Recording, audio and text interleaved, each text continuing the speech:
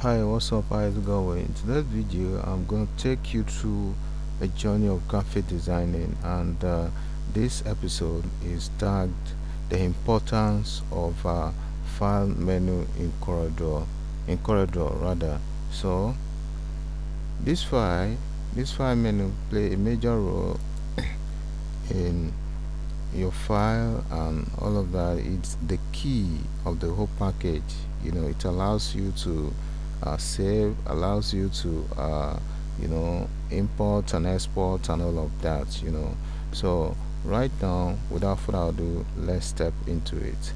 So right now let's click on file. The first you know one on the list is new. Can you see? This new allows you to create a new page you know of uh, CorelDRAW then and uh, it allows you to create you know a very stunning you know that intends you to uh, really even you know uh, think of what, what you are doing. So let's just you know hit that and see how it works. Let's click new. So the dialog pops up asking you to change you know anything you feel like you know. Maybe you want the pages to be 200 pages. Then you name the file. Let's name it u then you go ahead if you want it to uh, be CYMK, cyan magenta yellow black or red green blue which is this you know I prefer CMYK you know. Then you change the size of the what's it called the file. So then change the width and the height and all of that. Then the terms of the measurement inches I prefer inches and you you know change the resolution you know 300 is okay hit ok automatically it's gonna create the pages for you. Can you see? 1 to 200 so that's that. So number two is new from templates. And actually this one you know we don't actually need this. Actually uh, the template that is pre-designed to CorelDRAW what you is going to show you. So let's go over to the next one which is the number three you know number three open. So this open allows you to open uh, an existing file right from your hard disk the one that you've designed so far. So let's hit it and experiment it click open so automatically dialog pops up then you're gonna have all the file that you have designed you know. So that's all this. Maybe you want to make use of this pattern so let's just open the pattern. So it's open boom can you see that? So that's that. So right now the next submenu is uh is recent file. Recent open recent. So this open recent is the file. This allows you to open you know uh, the file that you currently working on. You know you know it's gonna give you you know recent file which you have. So let's just click on this and see you know this uh, this actually not valid you know but if you go further to open any of these it's going to open it You can you. See that's the recent file right there. So let's go over to the next one which is a number number five. You know document management. Actually you don't need this. Then the next one is close. This allows you to close your CorelDRAW even if you have not saved it's going to prompt you to save. So let's just close that so automatically it's going to close the file you know can you see that? So right now let's go to the next one which is uh, close all file. You know this will allows al this allows you to close all the files that you have opened you know uh, currently on that CorelDRAW so let's just close all file. So automatically closes all the files without closing the main you know our CorelDRAW file which you have opened. So let's go ahead and just open the file that we are working on. So let's go over to the next one. The next one is uh, save and save as so let's go ahead and just you know move one of the file so this save save allows you to save your current you know uh, file that you are working on you know presently it's going to update all the changes that, that you have made to your design. So if you hit save most definitely gonna save all the file that I make changes on. So let's go over and check out. You can see that it's not highlighted but if I should make changes again that will be highlighted then that that allows me to save and update you know uh, the changes that I made.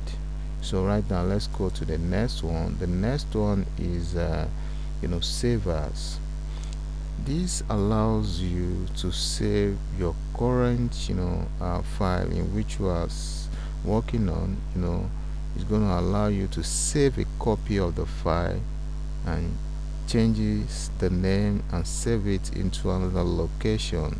So let's practice that click on save as automatically a developer pops up you know asking you to uh, save a copy you can decide to use uh, let's use for pattern 34 so let's save as.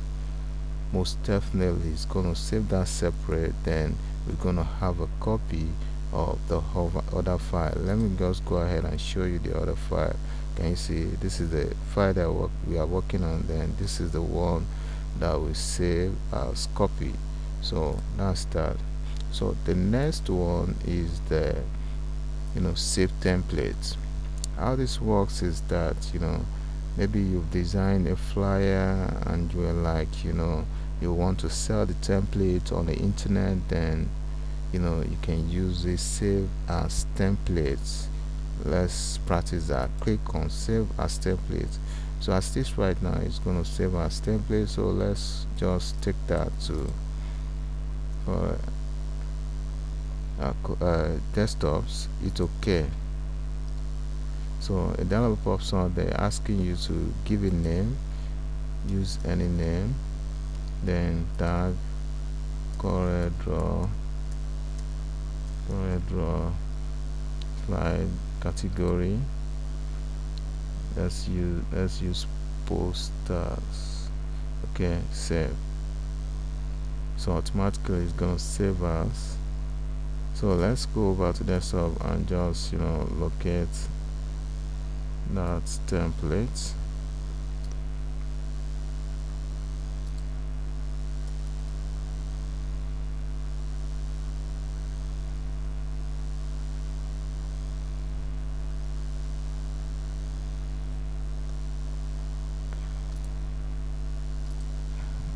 let's go ahead and locate that.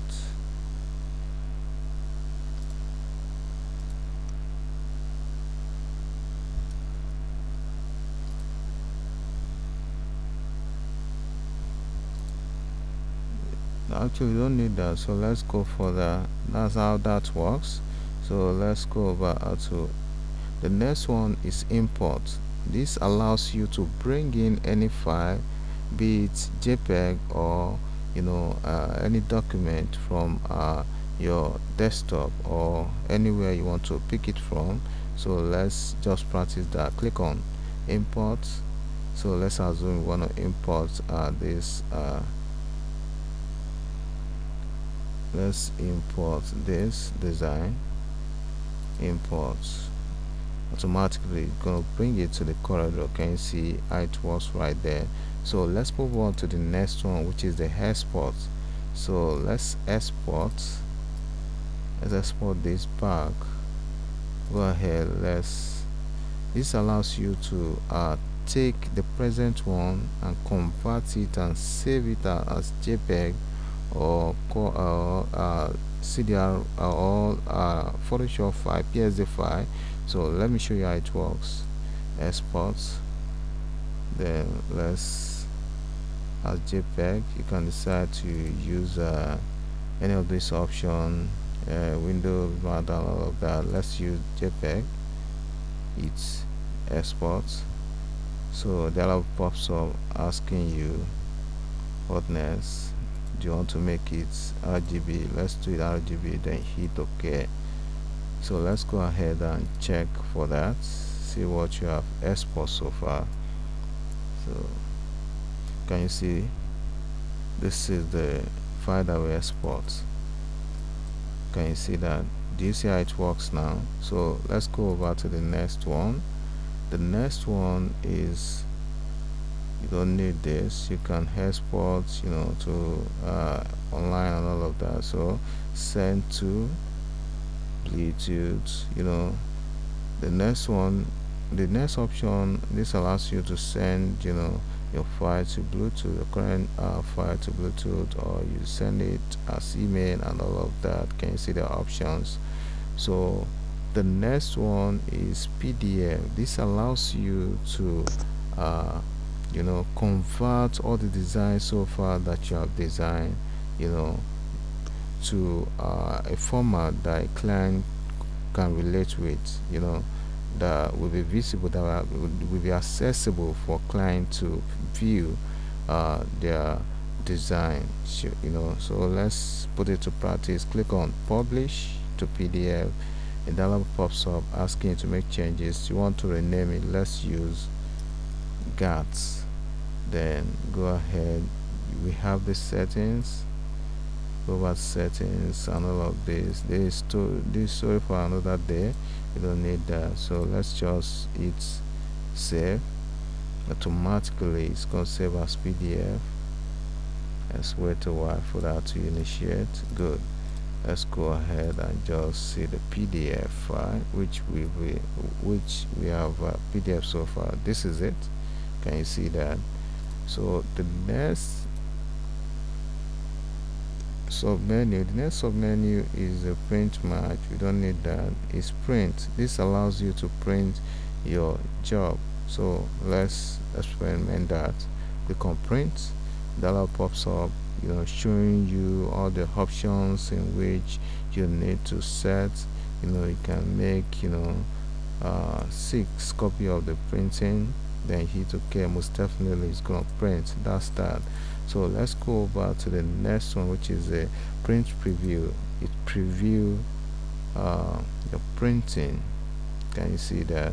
Good. So let's go over to the next one. The next one is document properties.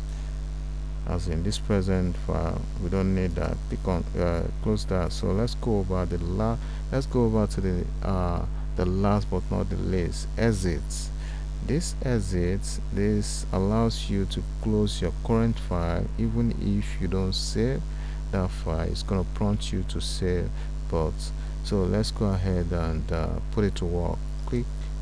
So automatically it's going to close you know asking you you haven't saved it. Do you want to save? Said no if you don't want to save automatically it closes the whole thing. So here we come to the end of the tutorial don't forget to subscribe to my youtube channel by clicking on the button below subscribe. And don't forget to hit that like button so that other people can benefit from what we have shared so far. As i always say see you in the next video. Bye for now